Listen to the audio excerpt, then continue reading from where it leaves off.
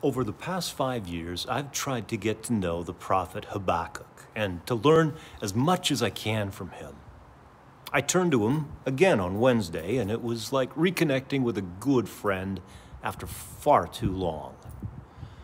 As I read his words over and over and reconnected with a lot of my notes, I did something I've never done before.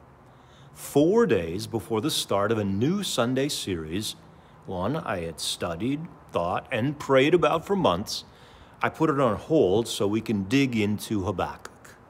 Listen to the first lines from Habakkuk's short diary. I hope you'll see why this has grabbed me so firmly. Lord, I continue to ask for help. How long will you ignore me? How long must I beg for your help before you listen? Why do you allow violence, lawlessness, crime, and cruelty to spread everywhere? I cried to you about the violence, but you did nothing. People are stealing things and hurting others. They're arguing and fighting. Criminals crowd out honest people and twist the laws around. Evil people gain while good people lose. The judges no longer make fair decisions. Why do you make me look at these terrible things?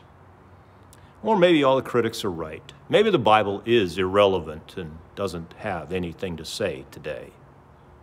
Let's find out together, starting this Sunday at 11 o'clock on Facebook Live.